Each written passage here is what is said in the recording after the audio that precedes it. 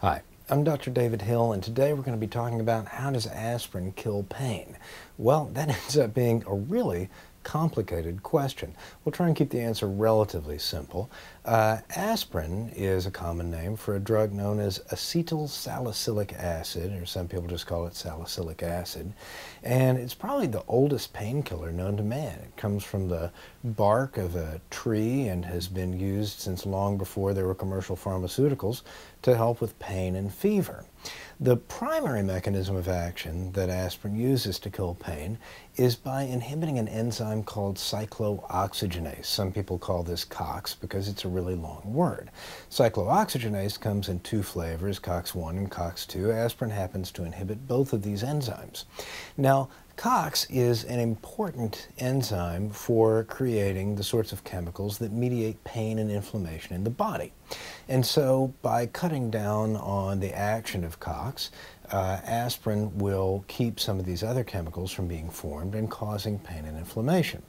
There's also an effect that aspirin has on the nerves in the brain, where uh, pain signals are transmitted and perceived. So there's both an effect outside, uh, where the pain and inflammation is occurring, and also on the nerves in the brain, and they work together to diminish pain. Now, aspirin also has some other effects, some of which can be desirable, others not.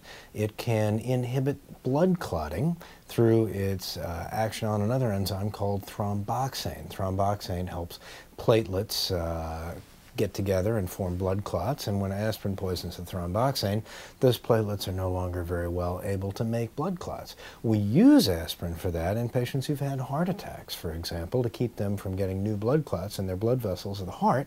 However, that can also be dangerous if a patient is about to have surgery or already has another bleeding disorder. Uh, aspirin can also cause problems in the stomach. It can lead to stomach ulcers because some of the prostaglandins that mediate inflammation and pain in the body have close relatives that keep the stomach safe from the stomach acid inside of it.